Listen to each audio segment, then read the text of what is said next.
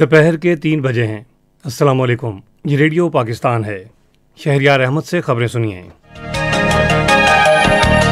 अहम खबरों का खुलासा।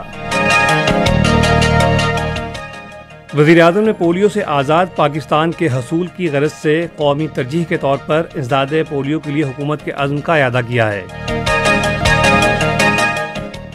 वज़ीर खारजा ने कहा है कि खत्े में अमन व इसकाम के लिए अफ़गानिस्तान में अमन नागजीर है।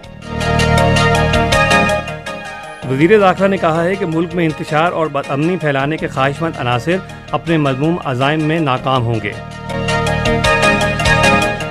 कौमी असम्बली को आज बताया गया है कि ज़रात सनत और खदमात के शोबों में तरक्की के साथ मुआशी अशारिय बेहतर हो रहे हैं। भारत के गैर कानूनी जेर कब्ज़ा जम्मू कश्मीर में कुल जमाती हुरियत कॉन्फ्रेंस ने भारत के फस्ताई हुक्मरानों की तरफ़ से ालिमाना कवानीन के मुसलसल इस्तेमाल की मजम्मत की है। छठी पाकिस्तान सुपर लीग का फाइनल आज रात अबूजबी में पिशावर जलमी और मुल्तान सुल्तान के दरमियान खेला जाएगा। और अब खबरें तफसील के साथ। वजी अजम इमरान खान ने कहा है कि कोरोना चैलेंजेस के बावजूद पाकिस्तान से पोलियो का खात्मा करने और मुल्क गिर पोलियो मुहिम में तेज़ी लाने के लिए ठोस कोशिशें की जा रही हैं। Bill and Melinda Gates foundation के शरीक चेयरमैन बिल गेट्स से टेलीफोन पर गुफ्तु में उन्होंने इस बात का अदा किया है कि पोलियो का मुकम्मल खात्मा हुकूमत की बदस्तूर कौमी तरजीह है।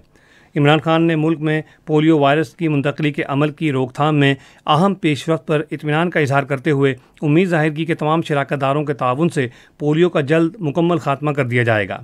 वज़ी अजम ने मुल्क को पोलियो से निजात दिलाने के लिए खसूस Bill and Melinda Gates foundation की शराकत दारी का शुक्रिया अदा किया। बिल गेट्स ने इस कौमी कौज के लिए वज़ी अजम के कायदाना किरदार की तारीफ़ की। वज़ी अजम ने मुल्क में कोरोना वायरस की तीसरी लहर पर काबू पाने की कोशिशों पर भी रोशनी डाली। उधर एक ट्वीट में वज़ी अजम ने यकीन ज़ाहिर किया कि आइंदा बरसों में मुल्क से पोलियो का मुकम्मल खात्मा हो जाएगा। वज़ी अजम ने कहा कि गुजशत साल इस वक्त तक छप्पन पोलियो केसेस सामने आ चुके थे, जबकि रवा साल पोलियो का सिर्फ़ एक केस सामने आया है। इमरान खान ने कहा कि उन्होंने बिल गेट्स से पाकिस्तान में एक माइक्रोसॉफ्ट इंक्यूबेशन लैब कायम करने को भी कहा है। तजारत और सरमाकारी के मुशीर अब्दुलरजाक दाऊद सियासी अमूर के बारे में मुआवन खसूसी आमिर डोगर और कौमी असम्बली के अरकान आसिम नज़ीर, रजा नसरुल्ला घुमन और खुर्रम शहजाद और सनतकार शाह नज़ीर ने आज इस्लामाबाद में वज़ी अजम इमरान खान से मुलाकात की। मुलाकात में मुल्क की मजमू सियासी सूरत हाल, बजट में आवाम के लिए रिलीफ और सनत के फ़रूग के हवाले से तबादला ख्याल किया गया। आसिम नज़ीर ने वजी अजम को टेक्सटाइल के शोबे खसूस हुकूमती इकदाम के बाद इस शोबे में होने वाली तरक्की के बारे में आगाह किया। वज़ीर खारजा शाह महमूद कुरैशी ने कहा है कि खत्े में अमन और इसकाम के लिए अफ़गानिस्तान में अमन का क़्याम ज़रूरी है। वो अफ़गानिस्तान के बारे में ईरान के खसूस नुमाइंदे मोहम्मद इब्राहिम तहरियान फ़र्ज़ से बातचीत कर रहे थे, जिन्होंने आज उनसे इस्लामाबाद में मुलाकात की। वज़ीर खारजा ने कहा कि पाकिस्तान का शुरू से ये मौक़ रहा है कि अफ़गानिस्तान के मसले का कोई फ़ौजी हल नहीं है। उन्होंने कहा कि अफ़गानिस्तान के मसले से पाकिस्तान और ईरान दोनों मुतासर हुए हैं। उन्होंने अफ़गानिस्तान में बढ़ती हुई इंतहा पसंदी पर तशवीश का इजहार किया। शाह महमूद कुरैशी ने कहा कि अफ़गानिस्तान में अम के क़्याम से ख़त्े में रबते तजारती सरगर्मियों का फ़रूग, अफ़गान पनाहजीनों की वापसी और इलाकई इसकाम मुमकिन होगा। उन्होंने अफ़गानिस्तान में अम के क़्याम के लिए ईरान की कोशिशों को भी सराहा।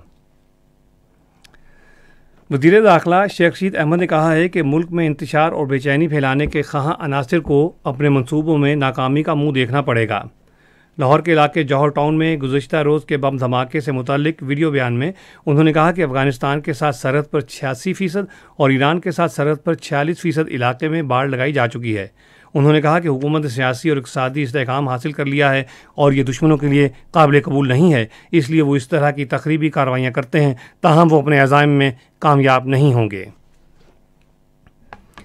पार्लिमानी अमूर के वज़ीर ममलकत अली मोहम्मद खान ने पाकिस्तान को एक मज़बूत मुल्क बनाने के हुकूमती अज़म का इजहार किया है।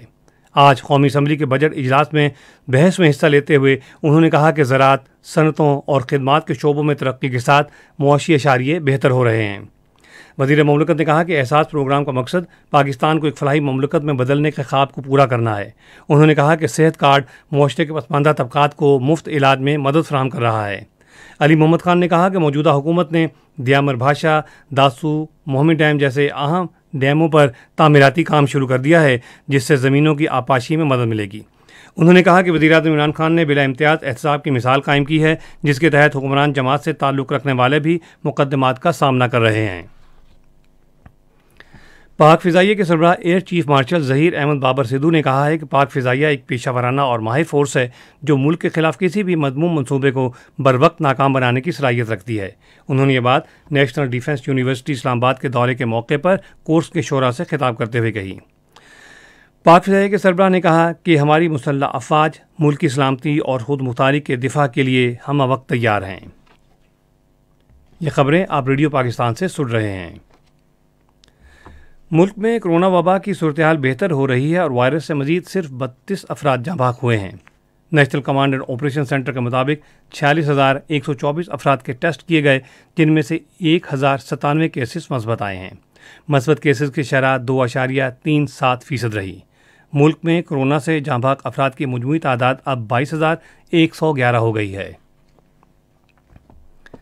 पाकिस्तान ने गुर्बत के खात्मे के हवाले से पायदार तरक्की के अहदाफ के हसूल और कोरोना वायरस बहरान के दरपेश मुश्किल के हल के लिए पार्लियामेंट के किरदार की अहमियत पर ज़ोर दिया है। ये बात अकवा मुतहदा में पाकिस्तान के मुस्तकिल मंदूब मुनीर अक्रम ने उज्बेकिस्तान के शहर बुखारा में आलमी बैन पार्लिमानी ताउन के बैन अवी फ़ोरम के दो रोज़ा इजलास से ऑनलाइन खिताब करते हुए कही। मुनीर अक्रम ने कहा कि आलमी तरक्याती एजेंडे के लिए पार्लियामेंट्स की शमूलियत और उनकी हमायत फौरी तौर पर हासिल करना ज़रूरी है। पाकिस्तान और ईरान के दरमियान आमद और रफ्त की सरगर्मियों की बहाली पर इतफाक़ के बाद तफ्तान और मीर जावेह की सरहद पर इमिग्रेशन क्लियरेंस शुरू हो गई है।